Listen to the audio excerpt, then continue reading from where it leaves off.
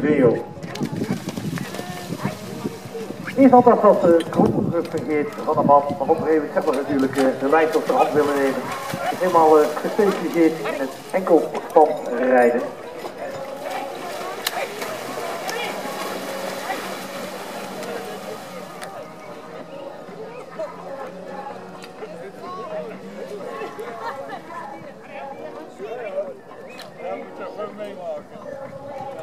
Ja, en uh, dat is natuurlijk niet Marion Rio, maar dat is uh, Guy Colette uit België.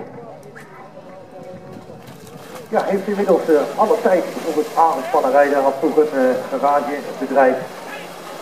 Is al actief in de mensport sinds 1987. Was